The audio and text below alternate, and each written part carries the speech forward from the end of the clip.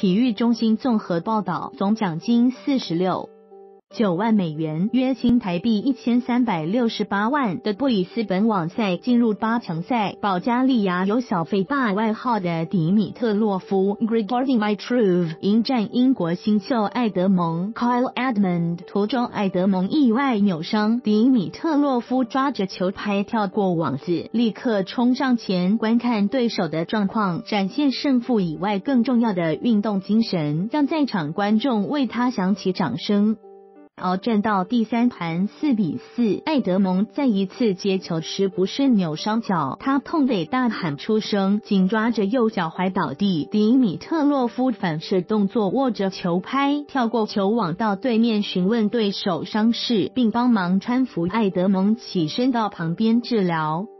这场比赛，迪米特洛夫最后以六比四、六比七、三比七、六比四拿到四强门票。而他在比赛的举动，让他在社群网站被网友盛赞。迪米特洛夫说：“很不幸，对手发生这样的事情，越过网子是本能的反应，我完全能感同身受。我真心希望他能好起来。最后二局不是他最好的状态，所以我才找到方法赢球。”而接受协助的艾德蒙则说：“直到赛后才意识到迪米特洛夫做了什么，他对我表达了他的担心，这种感觉很暖。迪米特洛夫一直是个很好的人。”迪米特洛夫飞奔到球场另一边，询问对手艾德蒙伤势。法新社：迪米特洛夫左搀扶艾德蒙下场治疗。欧新社。